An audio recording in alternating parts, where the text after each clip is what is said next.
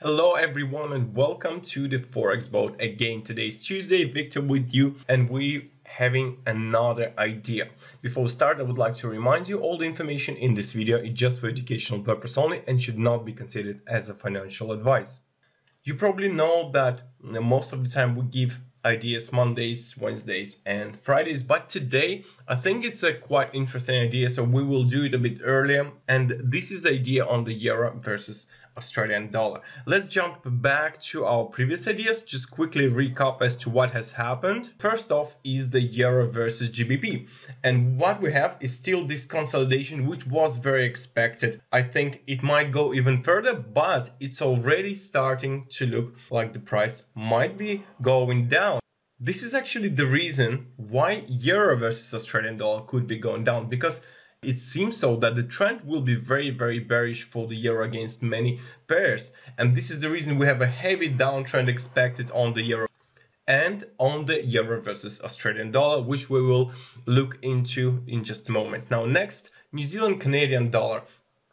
Original idea, the first one was from this point onwards, still expecting the target to be reached. The latest idea that we had just recently was uh, from this area to buying area up until this target. So starting to go back once again, looking good.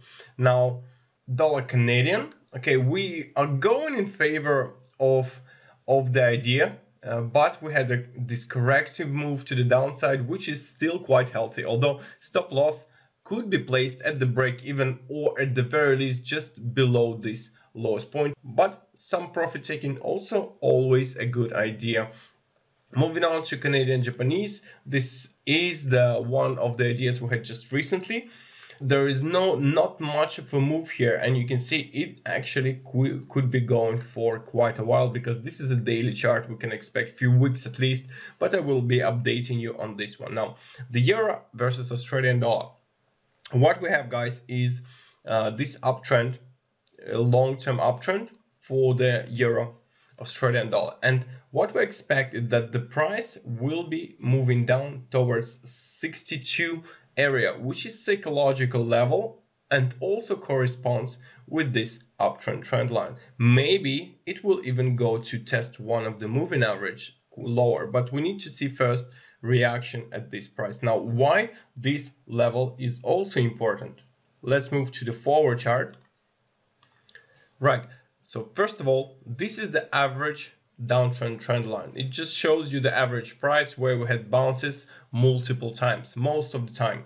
And the most recent bounce was actually right there, ha happened on the 7th and price has managed to produce yet another lower low. Also, what is important is the that support becoming the resistance quite consistently. Here was a support, now it is a resistance along with the rejection of the trend line.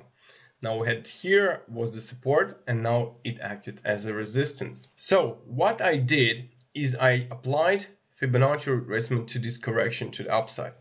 You may ask me why it's not going towards this high. This is because on the daily chart we had this break below the moving average 200 period and then price produced the high although today it was only a spike so the original high is considered to be right there unless we have a daily close above. So while the daily close remains below, this is a valid Fibonacci that can be used. Moving back to the four-hour chart. So this is what is expected from this pair.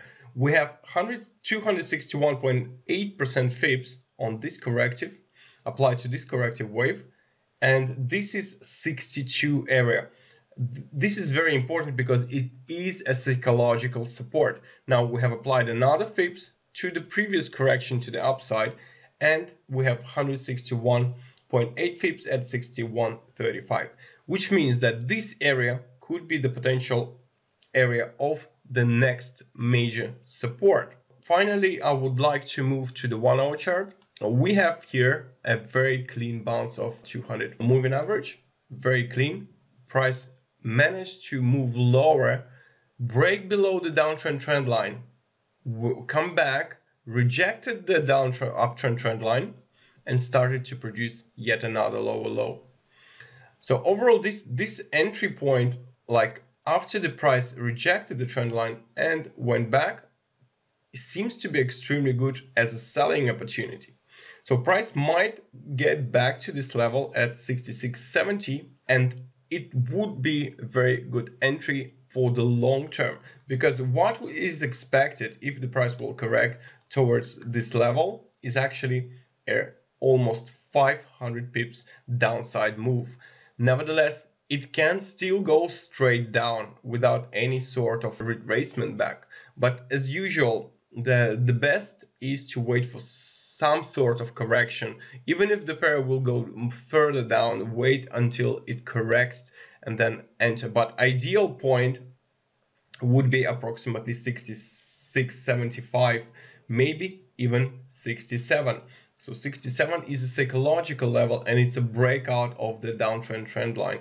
So this could be also a very interesting entry point, which makes area between 67, 10 approximately and 66.75. This could be a good area for this entry short if it corrects. So overall, it's a strong downtrend along with the Euro GBP and now it seems that the euro is starting actually to lose big time to many uh, major uh, currencies. So that's it for today. I hope you enjoyed it. It was a pretty early video, but I had to share this with you because I just spotted this kind of opportunity. So thank you guys. Smash the like if you liked it and subscribe to our channel to see more ideas this week also actually. So take care. Profits to everyone.